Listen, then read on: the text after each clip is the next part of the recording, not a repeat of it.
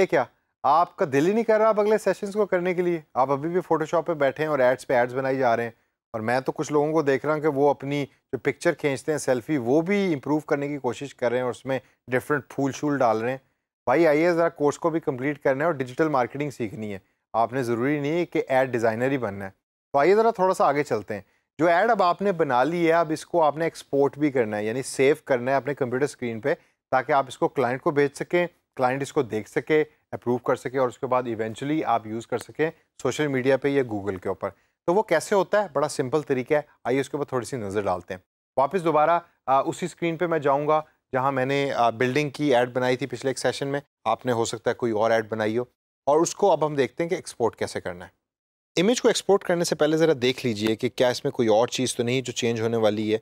For example building का text नीचे अच्छा नहीं लग रहा तो इसको उठा के ऊपर ले आइए। ताकि जब आप इसको एक्सपोर्ट करें तो बिल्कुल एक फुल फॉर्म के अंदर आप उस इमेज को एक्सपोर्ट करें जो आपने एज एन ऐड यूज़ करना है। जब वो फाइनल हो गया है और आप कहते हैं कि जी, अब ये ऐड मैं चाहता हूँ कि ये पोस्ट हो गूगल पे, या सोशल मीडिया पे तो वापस फ़ाइल पे जाइए टॉप लेफ़्ट कॉर्नर में और यहाँ आप देखें तो नीचे आपको सेव एज़ की ऑप्शन नज़र आएगी। सेव एज़ के ऑप्शन के थोड़ा नीचे देखिए तो एक्सपोर्ट की ऑप्शन भी आपको नज़र आ रही है। मैं इसको एक सिंपल तरीके से आपको सिखाऊँगा, आप सेव एज़ की ऑप्शन पे क्लिक करें। और सेव एज़ के ऑप्शन पर क्लिक करने के बाद अगर आप डेस्कटॉप पे सेव करना चाहते हैं, उस फ़ाइल का नाम लिखिए। करंटली यहाँ display at P S D आ रहा है। Dot P S D is a file extension for Photoshop जिस वर्ड की file dot D O C या डॉट डॉक के अंदर होती है। इसी तरीके से फोटोशॉप की फ़ाइल जो है, वो डॉट पी एस डी में होती है। अब इसको जे पैग या पी एन जी के अंदर मैंने कैसे ट्रांसफ़र करना है? अक्सर जो डिज़ाइनर्स होते हैं और वेबसाइट बनाने वाले होते हैं वो ये कहते हैं कि जी डॉट जेफ या डॉट बी को यूज़ करें, उनका साइज़ छोटा होता है। इस डिटेल में जाने की ज़रूरत नहीं है, ना ही घबराने की ज़रूरत है। आप बस जहन में रखें कि जे पैग या पी एन जी ये दो ऐसे फॉर्मेट हैं कि जिसके अंदर आपने इमेजेस को एक्सपोर्ट करना है और एक्सपोर्ट करने के बाद आपने इसको यूज़ करना है सोशल मीडिया पे ये गूगल के ऊपर।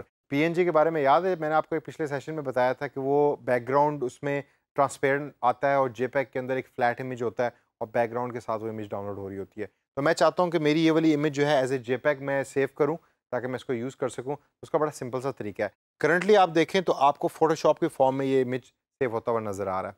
आप नीचे इस ऑप्शन पर क्लिक करें, जिधर डिफरेंट ऑप्शन आपके सामने अपीयर होंगी और तलाश कीजिए इसमें जे पैक कहाँ लिखा हुआ है। जे पैक को तलाश करके उस पर क्लिक करें और क्लिक करने के बाद सेव की इस ऑप्शन पर क्लिक कीजिए। इमेज को सेव करने से पहले फोटोशॉप आपको एक और ऑप्शन देगा, जो बड़ी ज़बरदस्त ऑप्शन है। यहाँ आप इमेज की क्वालिटी को डिसाइड कर सकते हो सेलेक्ट कर सकते हैं। अब जैसे जैसे आप इमेज की क्वालिटी को कम करेंगे तो आप देखिए कि आपके इमेज का साइज़ भी छोटा होता जा रहा है। आप इमेज की क्वालिटी को बढ़ाएँगे तो इमेज का साइज़ बढ़ता जाएगा। इमेज का साइज़ आपको कहाँ नज़र आ रहा है? इस वर्जन के अंदर इमेज का साइज़ आपको बॉटम में नज़र आ रहा है। हो सकता है जो वर्जन आपके पास हो, उसमें टॉप में जहाँ आपकी क्वालिटी का बार है, उधर उसके साथ साथ इमेज का भी नज़र आ रहा हो कि इसका इमेज का जो साइज़ है, वो कितना है। तो मैं चाहूँगा कि जो मेरा जो इमेज का साइज़ में सेव करने लगाऊँ वो मीडियम क्वालिटी का हो। तो जब मैं उसको मीडियम क्वालिटी पर लेके आऊँगा तो नीचे साइज़ उसका कम हो जाएगा। अक्सर वेबसाइट लोडिंग के अंदर इसकी हेल्प होती है कि चूँकि इमेज का साइज़ छोटा है तो ये इमेज जल्दी लोड हो जाता है जब भी आप वेबसाइट लोड करें सो करने के बाद मैं ओके के बटन पे या सेव के बटन पे क्लिक करूँगा। और अब मैं वापस डेस्कटॉप पे जाके देखता हूँ कि क्या ये इमेज सेफ़ भी हुआ है। और डेस्कटॉप के ऊपर इस इमेज पे डबल क्लिक करूँगा मैं। और मेरे सामने वो ऐड जो मैंने डेवलप की थी, उसी साइज़ के अंदर डेस्कटॉप पे सेव्ड मिलेगी। इस इमेज को अब आप यूज़ कर सकते हैं और फेसबुक पे ये गूगल के ऊपर एज एन एडवर्टाइजमेंट भी यूज़ कर सकते हैं। तो दोस्तों, इस तरीके से आप फोटोशॉप को बेसिक यूजेज के थ्रू एड क्रिएशन के लिए इस्तेमाल कर सकते हैं। इन तमाम स्टेप्स को प्रैक्टिस कीजिए और प्रैक्टिस करने के बाद कोशिश करें कि नेक्स्ट टाइम जब भी डिज़ाइनर अवेलेबल नहीं है या आपके पास बजट इतना नहीं है कि आप एक डिज़ाइनर को पैसे दे के कोई कंटेंट डेवलप कर सकें तो फ़ोटोशॉप खोलिए और ख़ुद फ़ोटोशॉप यूज़ कीजिए और एक अच्छी सी, खूबसूरत सी एडवर्टाइजमेंट खुद बनाइए।